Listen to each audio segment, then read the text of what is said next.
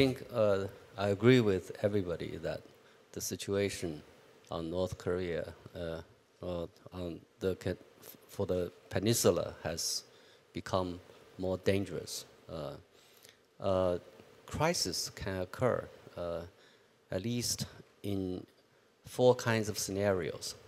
One is a failed nuclear test. I mean, North Korea has stepped up with uh, nuclear tests and also missile tests. Uh, the failed nuclear tests can be disastrous. Okay. Uh, given the backward facilities they are using to test nuclear weapons, some people argue that this is just a matter of time. Okay. Another scenario uh, is uh, nuclear, uh, increased international sanctions on North Korea. Okay. Here we are, because of North Korea's Uh, nuclear uh, uh, program uh, and tests and, uh, and also missile tests, the international society has stepped up with sanctions against North, North Korea. Actually, some people are demanding China to cut off oil for North Korea. That could induce a, a, a crisis in North Korea, right? People are against a military uh, option uh, for fear that this would touch off a crisis in North Korea and also uh, some kind of a uh, irrational response on the part of North Korea. But a UN sanctioned uh, a, a UN sanction induced crisis can also spark off uh, spark up that kind of situation. The third kind of scenario is political struggle within North Korea that may produce a crisis. Okay, given the sanctions and given the the the possibility of war, uh, I don't think the leadership in North Korea is that united in thinking. So, I mean, one cannot rule out the possibility that there is a, that, you know, serious policy difference, and then something may happen. We don't know. Uh, we don't know uh, much about North, uh, the inside story of North Korea. But he did kill his brother, so things could happen. The third, the, the fourth scenario in which a crisis can occur is U.S. initiated preemptive strike. That of course would unleash a crisis situation uh, definitely. Uh, so now we, we are facing a situation in which a crisis can occur, and the chance for that to happen has dramatically increased uh, in, in recent years. Okay. Now, what can we do about it? I think the first thing we should do, we should do it immediately, is to hold dialogues on contingency plans. Okay. Every concerned party has a contingency plan uh, with regard to how to deal with the crisis. Okay. Uh, but the problem is, so far, uh, their plans have not been you know, shared and, and, and coordinated. Okay? And I think that's very dangerous. For example, China and the US, they should have contingency plans uh, about how to control the no North Korea's nuclear weapons if a crisis occurs. Okay? Right? Because you cannot leave it unmanaged uh, or in the hands of a North Korean officer uh, whose uh, uh boss uh, may be in trouble. so that's very dangerous. Uh, so somehow you need to take care of the nuclear facilities uh, to make sure that uh, that officer will not push the button and or uh, the nuclear weapons may be taken away by some other forces. But the problem is, without, uh, you know, talking to each other beforehand, to make sure that the, the military, the Chinese military and the American military don't bump into each other in the crisis. Uh, you need to talk to each other before, uh, you know, uh, before that happens. Uh, you know, uh, I, I, think, uh, you know, neither the U.S. nor China probably would would regard, you know, taking possession of North Korea as such is such an attractive thing to do. I mean, you, ca you, cannot learn anything from their nuclear technology. And of course, uh, you have to pay uh, uh, a lot to, uh, to take care. The cost is quite, can be quite, quite high.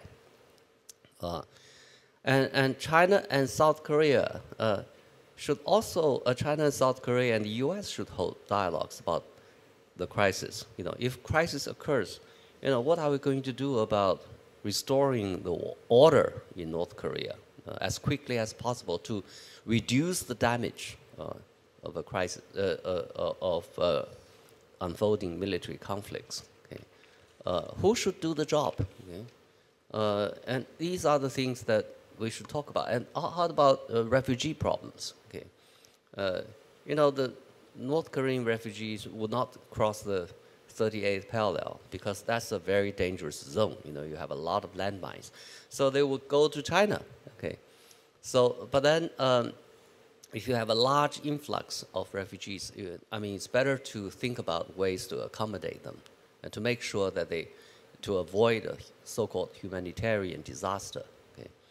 Uh, and, and, then the five parties uh, should have their own dialogue about post crisis arrangement for North Korea and also probably for the Korean Peninsula. Okay, are we going? To, how are we going to uh, uh, to uh, uh have a new government uh, uh, for North Korea? Okay, or should we have a new government for North Korea, or should we have a UN? I mean, a united Korea. I mean, this thing should be discussed uh, so that we know where we are going when crisis occurs. Talk about contingency plan is necessary and uh, uh, and we should do it as soon as possible. Okay. So far, I think there are talks about it at the one uh, at track two and uh, track uh, one and a half, but then I think the the the, the discussion, uh, the consultation should take place at a, at a much, much more substantive level between the concerned authorities. The second thing uh, I think we need to do, okay, is to uh, get prepared for a military uh, conflict. Okay. I think, uh, you know, given the four scenarios which I just mentioned, a military conflict can happen. Uh, I mean, the chance for that to happen has dramatically increased. Of course, we all wish that it would not happen. Okay, uh, we hope to have a peaceful solution. Okay, but the problem is it can happen. Okay, so we need to devise uh, uh, various kinds of uh, measures to reduce the the the the, the, the damage uh, to avoid the loss of uh, life as much as possible. Okay? So that probably would include uh, seriously considering eva evacuation of civilians from areas adjacent to the North Korea border. Okay? Uh, because those people there are most likely to be affected. Uh, this includes, uh, I mean, all countries probably concern should take should take in this uh, uh, thing uh, very seriously. Yeah. The third thing probably we need to do is to develop a enhanced version of carrot and stick approach. Uh, we should, we should uh, maintain the current level of sanctions, and and and, and also the uh, if if North Korea uh, continues with the tests uh, of nuclear weapons and especially uh, and missiles, probably we should continue to increase the sanctions. and of course, holding uh, dialogues on contingency plans can also be a form of pressure on North Korea. So we should make the stick uh, tough, stronger, uh, and, and bigger. Yeah. At the same time, uh, we should also uh, develop a more attractive package of incentives for North Korea to change course.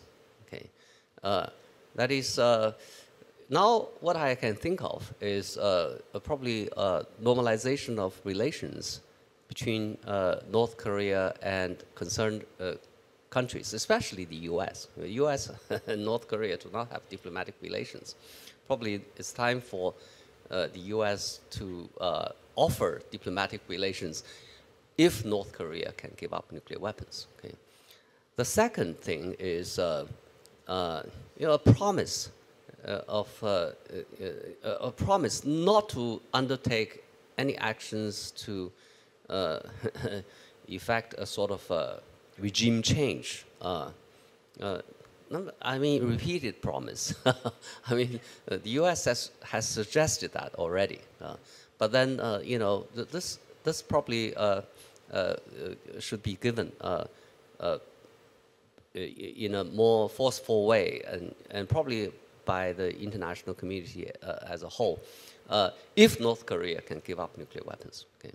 The third thing is, you know, probably we should also give North Korea a security guarantee. Uh, uh, in other words, uh, we'll make sure that no country you know, uh, uh, again, another commitment not to uh, allow any country to invade North Korea. you know, if North Korea gives up nuclear weapons, if that's the security concern it's worried about.